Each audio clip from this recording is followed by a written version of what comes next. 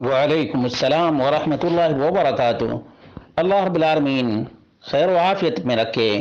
سوال بہت ہی اہم ہے اور عام طور پر اس کا خیال نہیں رکھا جاتا۔ وہ یہ کہ وہ کون سے اوقات ہیں جن میں میت کو دفن نہیں کرنا چاہیے۔ اس کا جواب یہ ہے کہ نبی اکرم صلی اللہ علیہ وسلم نے فرمایا کہ تین اوقات میں نہ نماز پڑھو اور نہ دفن کرو۔ چنانچہ عقبہ بن عامر رضی اللہ عنہ راوی ہیں۔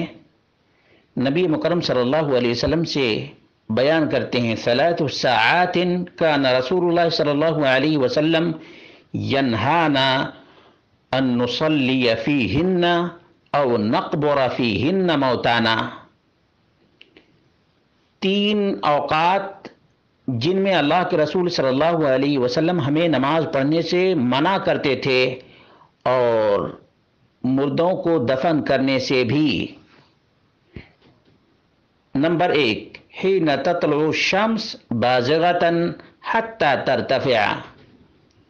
جب سورج نکل رہا ہو، یہاں تک کہ اوپر اٹھ جائے۔ پہلا وقت جو ممنوع ہے نماز کے لیے اور میت کو دفن کرنے کے لیے، سورج نکلتے وقت، جب تقریباً ایک نیزہ اوپر ہو جائے سورج، تب دفن کرنے میں کوئی حرج کی بات نہیں ہے۔ تب شروق کا وقت ہو جاتا ہے یا اشراق کا وقت ہو جاتا ہے۔ لیکن جس وقت سورج نکل رہا ہو، اس وقت نہ نماز پڑھنی چاہیے نفلی اور نہ ہی میت کو دفن کرنا چاہیے۔ نمبر دو، وحین یقوم قائم الظہیرہ حتی تمیل۔ اور ٹھیک دو پہر کے وقت جب سورج بالکل سامنے ہو، اس وقت بھی نہ نفلی نماز پڑھنی چاہیے اور نہ ہی میت کو دفن کرنا چاہیے۔ یہاں تک کہ سورج مائل ہو جائے۔ یہاں تک کہ سورج مائل ہو جائے۔ جیسے ظہر کا وقت کب ہوتا ہے؟ جب سورج مائل ہو جاتا ہے، زوال کا وقت ختم ہو جاتا ہے۔ نمبر تین، تیسرا وقت ہے، وحین تضیف الشمس للغروب۔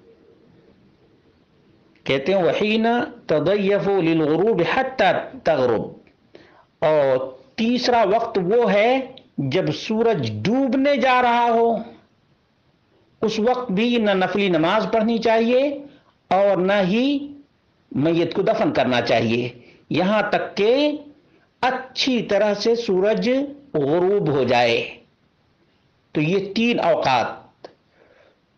طلوع شمس کے وقت اور زوال کے وقت اور غروب آفتاب کے وقت۔ تین اوقات میں نفلی نماز پڑھنا بھی منع اور میت کو دفن کرنا بھی منع ہے۔ یہ سنن نسائی پانچ سو پینسٹھ نمبر ہے۔ یہ نسائی کے الفاظ ہیں۔ صحیح مسلم میں ذرا سے الفاظ کے فرق کے ساتھ آٹھ سو اکتیس نمبر پر موجود ہے۔ معلوم یہ ہوا کہ ان تین اوقات میں نہ نفلی نماز پڑھنی چاہیے اور نہ ہی میت کو دفن کرنا چاہیے۔ واللہ اعلم بصواب۔